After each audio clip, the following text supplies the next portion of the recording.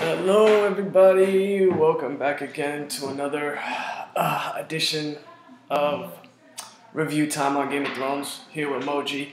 Um, let's start with this episode. Um, let's start with Bran's visions. This was a very fillery episode. Very fillerish. Um, let's start with Bran visions. There's, a, there's probably a lot people would have missed in this. Um, unless you go back, you wouldn't catch everything. Wildfire, Pyromancer, Mad King, all sorts of stuff you would have missed. Um,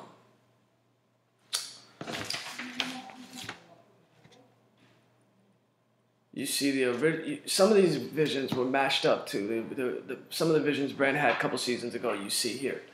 Um, what's interesting was they finally showed us the Mad King. They never, never even inclined to talk about the Mad King, other than maybe when Jaime was with Brienne in season three when they were captured by um, Vargo. Uh, well, in the books he's Vargo, in the show it was Locke. Um, when when when uh, Jaime got his arm cut off, he tells Brienne the story of how the Mad King said, "Burn them all, burn them all, burn them all." Um, he explained to her that the Mad King told Jaime to kill his father, um, which was never going to happen. Um, what people don't sometimes know uh, or remember um, in the TV show, they didn't get to the expletives, but when Tywin Lannister was at the gates of King's Landing, okay. In the books, Jaime specifically tells Brienne uh, or, uh, that Tywin was never one to be on the losing side, okay. So to th- for the Mad King to be such in, in, in, in a mental disarray to realize that Tywin Lannister's army is at the gates, to think that he's coming to help him was ridiculous. Pycelle, Grand Maester Pycelle, convinced the Mad King to let Tywin's army into the gates. Varys told him no, told the Mad King, do not let Tywin Lannister come into the city, because to get into King's Landing, someone has to open the gates, the front gates into the city. Varys told him don't do it. Pycelle, who's an undercover Lannister supporter, always has been. He's just a pawn for the Lannisters inside the the the small council. He told the Mad King let Tywin in. He let him in. Boom, Tywin sacks the city. Joins up with Robert. The Mountain kills Elia Martell. Kills the babes, um, Aegon and I forgot the girl's name, but kills both of them, rapes Elia. That's why Oberyn be, is, is got beef with, with them. The late Oberyn Martell. Um, and it was under Tywin's orders that they did this. And in the books, they, they go into the backstory of the Tywin's actually talking after the Red Wedding.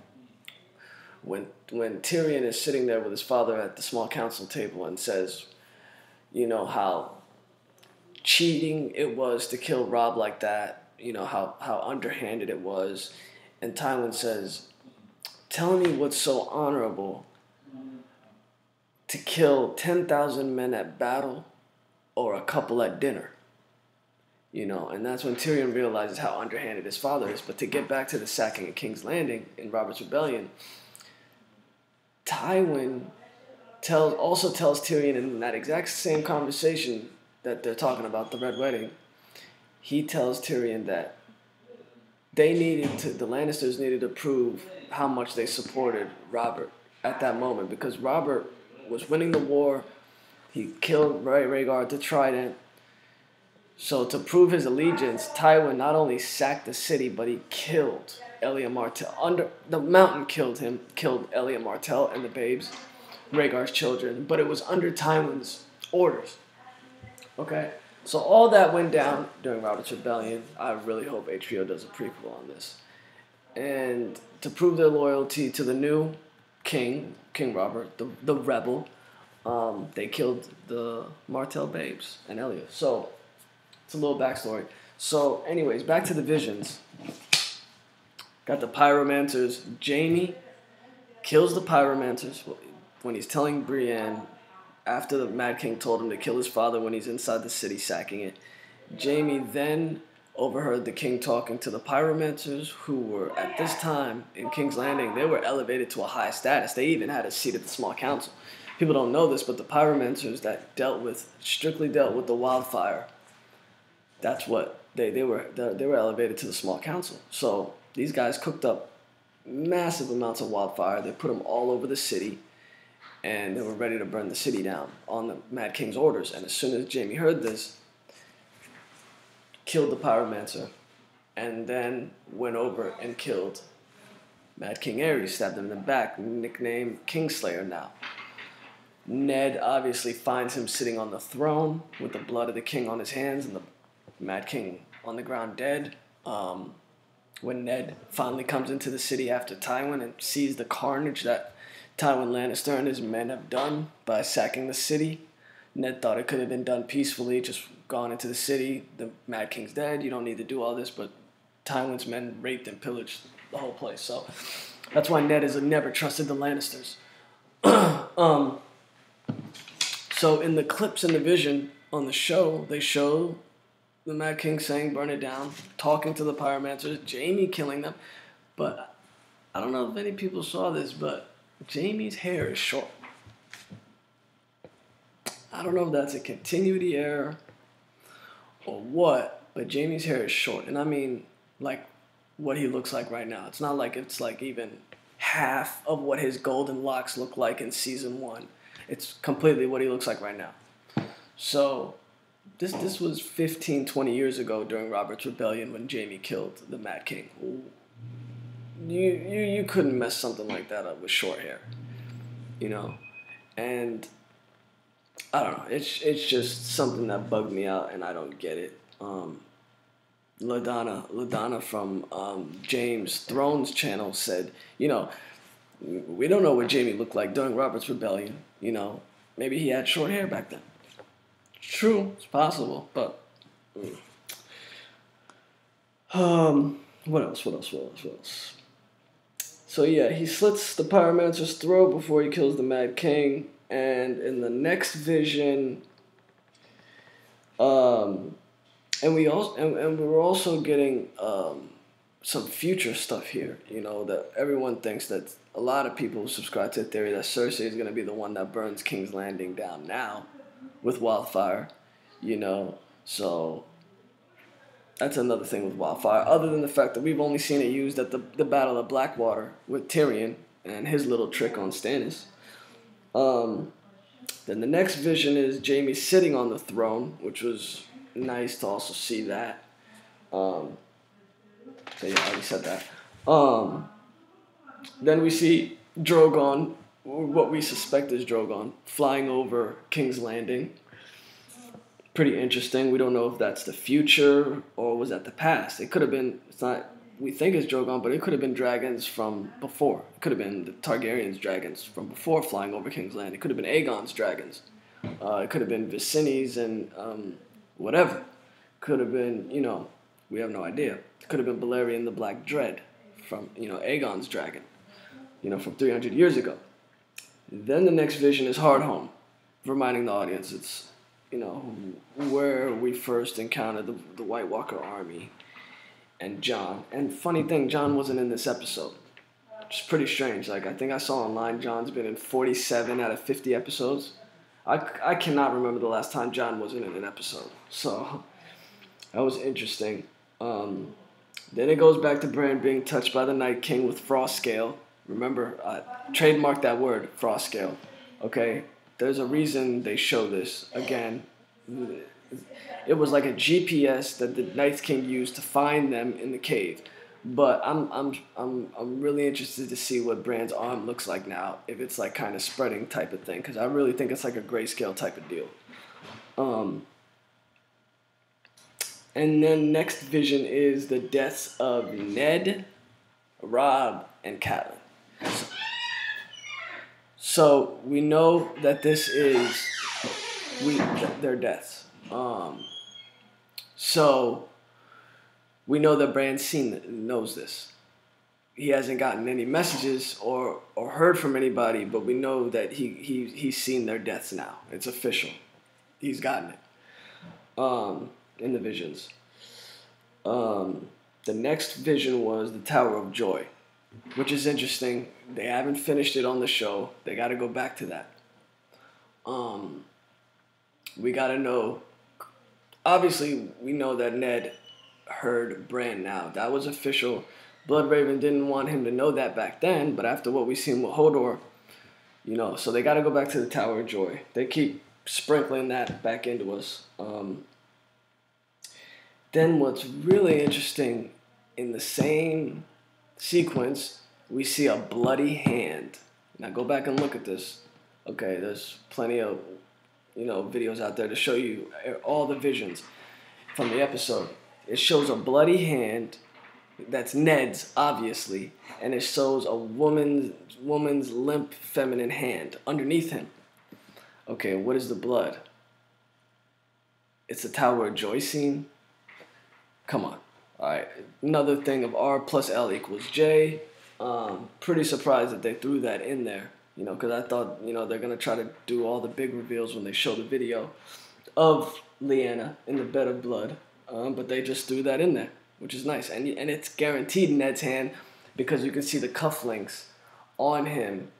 If you look at the battle with um, Arthur Dayne, it's the same exact arm, same exact cufflink, so for sure it's Ned. I'm, I'm guessing that's to be the scene of when he goes upstairs into the tower. Um, next, so that was all the visions. Actually, there's no more after that. After that Tower of Joy one. Actually, there's a big winter scene. As a matter of fact, right after they show the Tower of Joy, then they show a big winter scenery with the sun going down pretty much telling you that's the land of always winter or the frost fangs or wherever north of the wall reminding you again winter is coming. Stark words.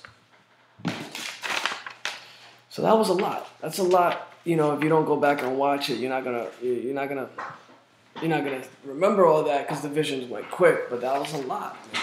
I'm really interested about Jaime, the Jaime visions, and them showing that um, for a reason, showing the wildfire for a reason you know, is this what's to happen in the future? It's like them telling the audience, hey, remember this wildfire stuff. Next, um, next scene was the Tarlys, and I'm just to skip over this part. This was pure filler. You know, we needed to know what Sam's doing, but at the end of it all, I'm to compress it down. We just needed to know that he's getting Heartsbane. He wanted Heartsbane. He got Heartsbane. See you, Sam. I could have done that in five minutes. You know, they could have done that in five minutes. But, all right. King's Landing. Margaery putting on a show. If you couldn't figure that out, I don't know what to tell you. Two episodes ago, she's sitting there telling Loras when they're in the dungeon, you know, Loras, they want me to flip you. They want me to turn you. They want you to atone, yada, yada, yada. Don't give in. And, like, Loras is looking at her like, I just want it to stop. I don't care what you do. I just want it to stop. So Margaery's doing this either for her family. She's doing it for her family.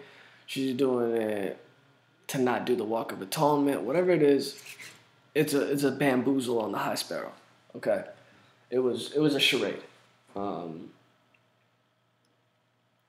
and it's funny that they said in the episode, Tommen, when he's talking to her, he's like, the crown and the faith are the twin pillars of our society. And it's the exact same line that Cersei said to the High Sparrow when, when the High Sparrow was telling her, like when they when she fir- first met the High Sparrow, when Meryn Trant took her into Flea Bottom, and he's explaining to her what he is and what he does, and he, and she's like at the end of all the whole thing when she's about to give him power like an idiot that she is, she says the crown and the faith are the twin pillars of of of everyone. So we have to get those two together. So we have to marry the, the crown and the faith.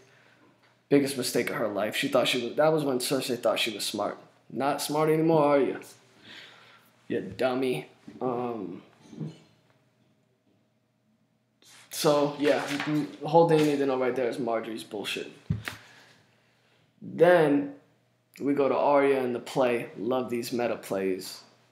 Excellent stuff right here. Um, this is interesting. They're doing the Red Wedding. The play actors are doing the Red Wedding, and um,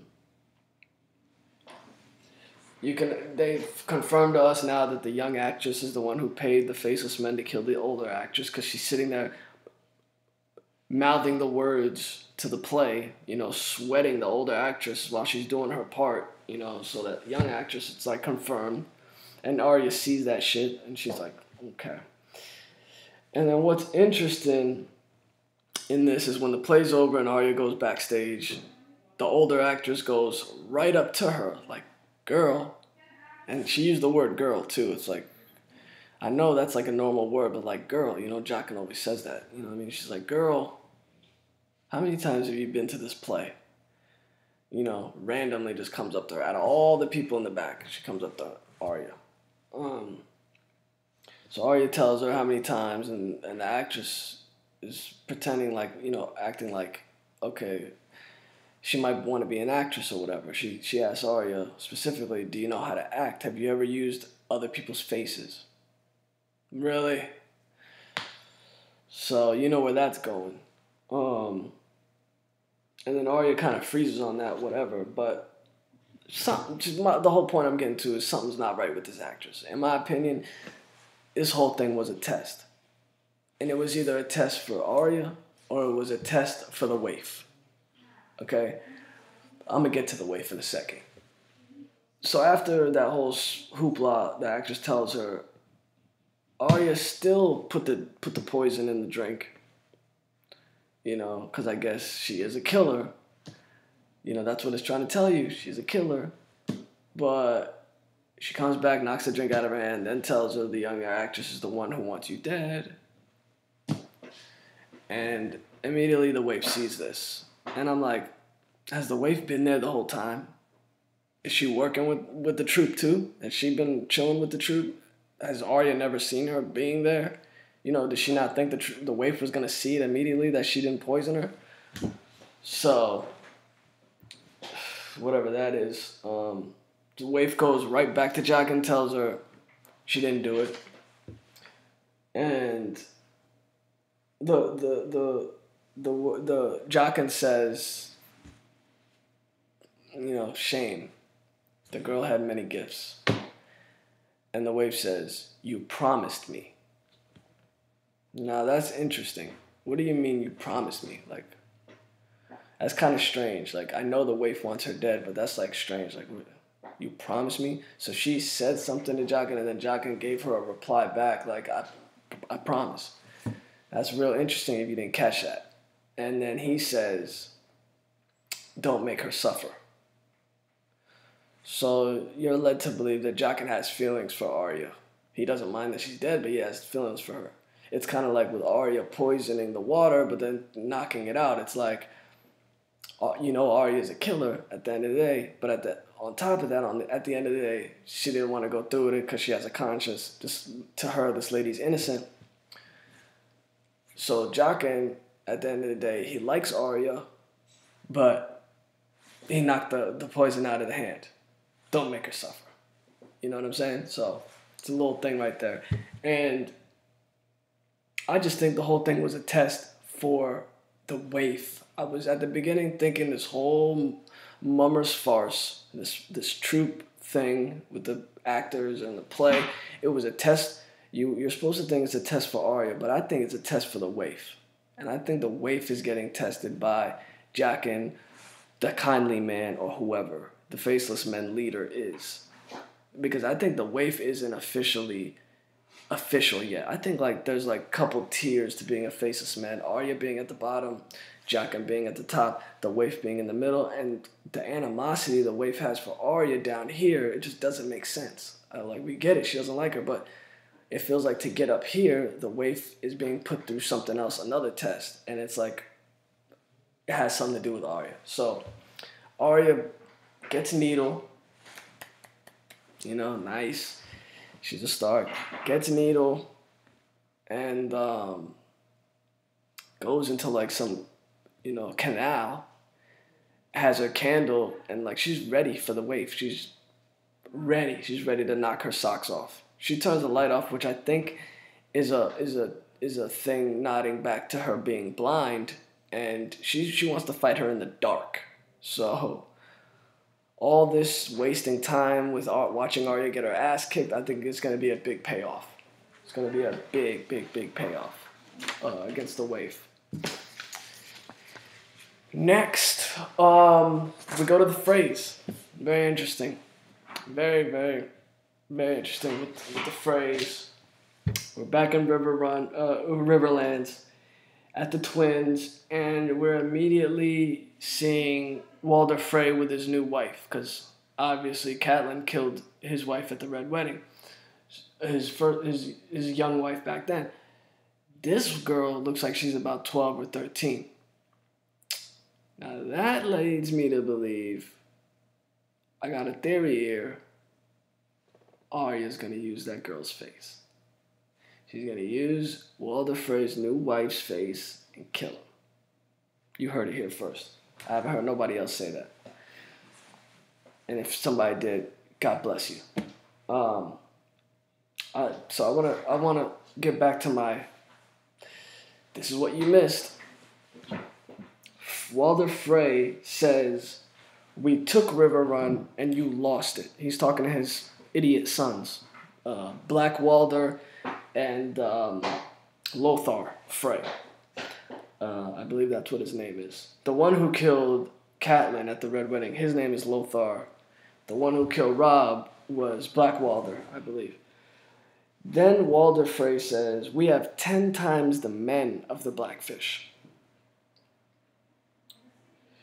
Black Walder says, The Brotherhood without banners are helping them. They're, they're, they're attacking our supply lines. So they're letting us know the Brotherhood Without Banners are back in town. So major. I can't wait for the Riverlands. Which then Walder replies, um, they're laughing at us. I want them to choke on their laughter. Which is, he's saying that the, the people of the Riverlands are laughing at them. I don't know, people at King's Landing, because they couldn't even hold Riverrun.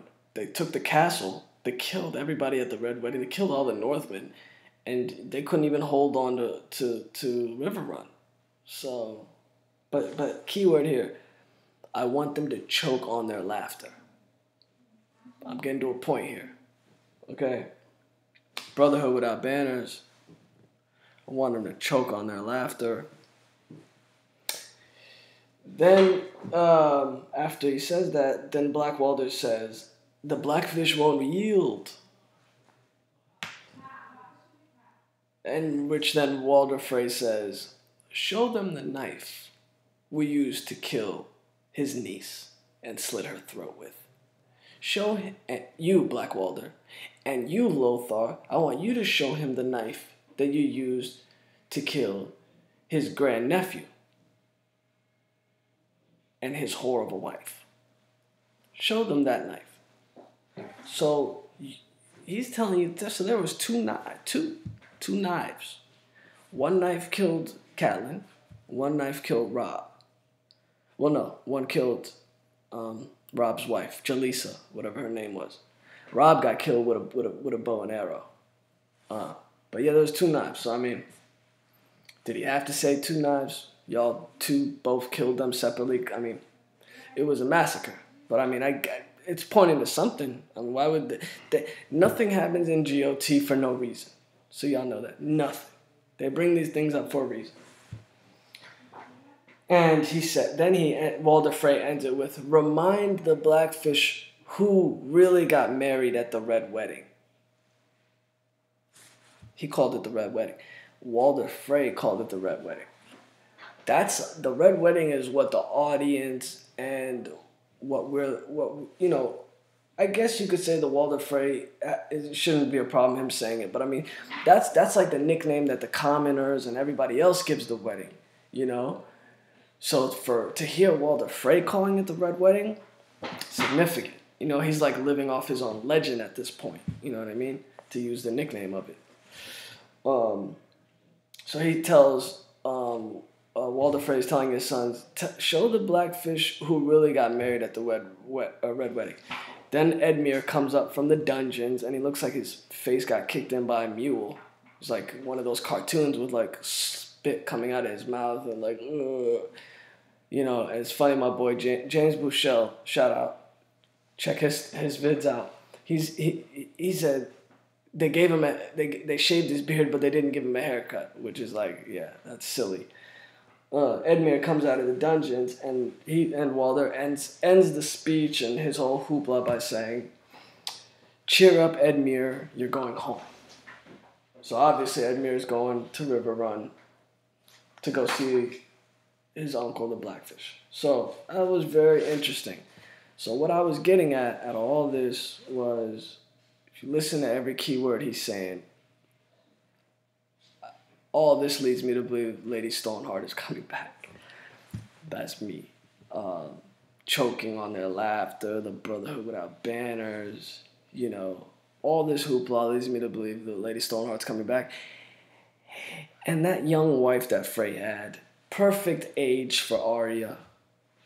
Perfect age, perfect height, perfect everything. It, was, you know, the way Arya slipped in to kill Meryn Trant back in Braavos she used that little girl's face and her height and everything because the man was a pedo. He was a he was a he was a fucking pedophile. So it was easy for him to slip in, Arya to slip in there and, to kill Meryn Trant. I think she's gonna do the same thing with Walder Frey. Slip into his as his wife, slit his throat. it's just easy peasy right there. Everything fits, perfect.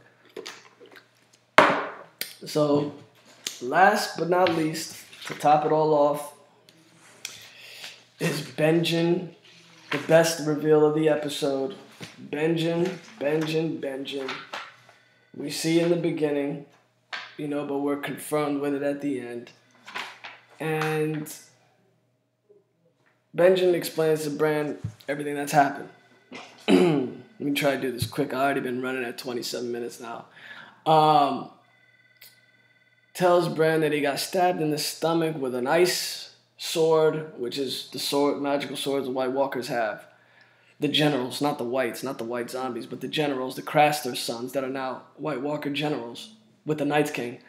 He got stabbed in the stomach with that, and, and the children of the forest so happened to uh, um, find him and, and save him. And I believe that you know a lot of people have done videos on this. I believe that the Stark, the Starks, have magical blood in them. Uh, personally, magical um, properties from the Northmen, them being kin of the Northmen, and stops the effects of the White Walkers, in my opinion. Um, the children of the forest, Benjen says the children of the forest stabbed them in the heart with a dragon glass sword, uh, you know, dagger, and saved them. So this turns Benjen into a half white, half man type of deal. His face, you can obviously see his face is much more paler, but his eyes aren't blue like the White Walkers. But he's not dead like the Whites. So in the books, it's Cold Hands. On the show, it's Benjen. So pretty awesome. But the most important thing of this scene is him killing a rabbit and taking the blood out of the rabbit and having Bran drink the blood. He then tells Bran, Blood Raven, three eyed Crow will come back one day, and when he comes back, you'll be ready for him. You're him for now. You know, he tells him that you're going to be the new Blood Raven now, but when the old Blood Raven comes back, you're going to be ready for him. What is he going to be ready for? More knowledge? I mean, the Blood Raven let him download from the Matrix as much as he could. But this harks back to what I was saying in my last video that the Blood Raven wanted to die in the Matrix for a reason. Now, whether he's going to come back in the in the Matrix to Bran in his visions, which I think that's how it's going to be. He's going to come back like a ghost. He's going to be a ghost in the shell. Okay, he's going to be a ghost in the Matrix, coming back to Bran that way because he died in the Matrix. He didn't. His soul, he he was in the visions when he died. He wasn't out of the visions, so his soul went into the Matrix. So I think that's how it's going to be, and he's going to reveal himself when he thinks Bran is ready. He doesn't think he's ready yet, but he's going to reveal himself.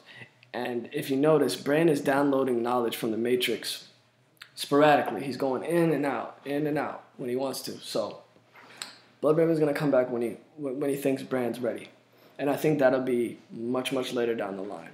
Um, much later, and I think it's gonna be a significant moment, like Bran warging into a White Walker. Ben said that already. Warging into a White Walker. So that's the end. Um, gonna do another video on um, the vision stuff and the frost scale that's coming up theater near you. So please subscribe. Uh, please like this video and put any questions in the comments and I'll respond to them as quick as possible. Thanks, guys. Take it easy.